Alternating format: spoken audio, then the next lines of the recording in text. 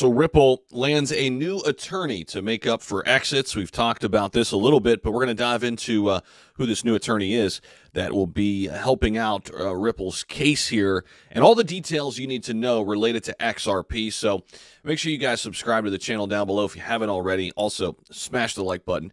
Definitely, definitely uh, helps push us out in the YouTube algorithm. And I'm here every single day for you. So I would appreciate it greatly if uh, you're on this journey with me.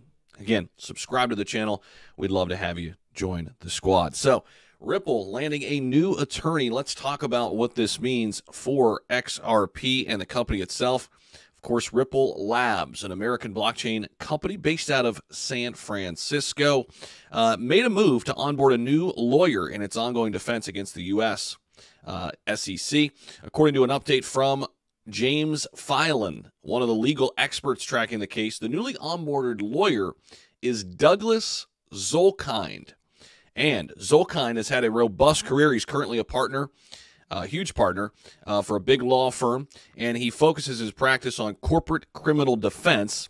He's deemed the right fit for Ripple, seeing as he has had an extensive career as an assistant U.S. attorney in the U.S. Attorney's Office for the Southern District of New York serving as a senior member of the Criminal Division uh, uh, Public Corporation Unit. Now, the Ripple case has not been deterred despite the company seeing an exodus of some of its defense lawyers over the past few months. One of those exits came just a few days prior to the iconic XRP ruling uh, issued by Judge Torres. The company noted at the time of these exits, its defense will be impacted by the exodus, and while the exact reasons for stepping down were not revealed, the company had previously been fishing for viable replacements. You know, I think potentially it could just be a lot of, you know, the weight that, that is carried here with such a such a, you know, monumental lawsuit and the magnitude of everything. Uh, it, it, could be difficult, you know, being uh, being front and center in this case, right? So it could have been that. We're just speculating. We don't know, but uh, the person coming in, Mr. Zolkind, looks like he is a right fit for the job, despite the monumentous win uh, in the past uh, the momentous win in the past ruling. Ripple Labs is not off the SEC's hook. We have talked about this briefly as the SEC hinted at a possible appeal of the decision. Even if they were to appeal, though, it's going to be two plus years down the line until we hear anything. That's just how slow things move in the you know court systems. But a lot of people think even if this happens, that Ripple's still safe. There's just not a lot of ground to stand on, uh, despite the assumptions that a settlement might now be in view. Ripple Labs is leaving no stones unturned as uh, they've continued to stay focused by hiring some of the best legal experts out there in order to have all hands on deck and to have the last laugh when the case finally concludes concludes. I feel like it's concluded but it's not concluded concluded.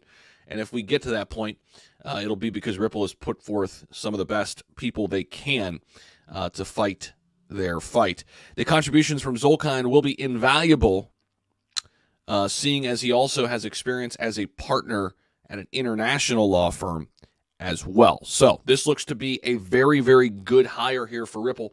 This should bode well for them. Now we'll see. Time will tell, right? But all the credentials uh, are big, and uh, this is this is a, an important update because this is what it takes. Uh, you know, we talked about how much money Ripple spent fighting their case. Well over a hundred million dollars just to get to this point right?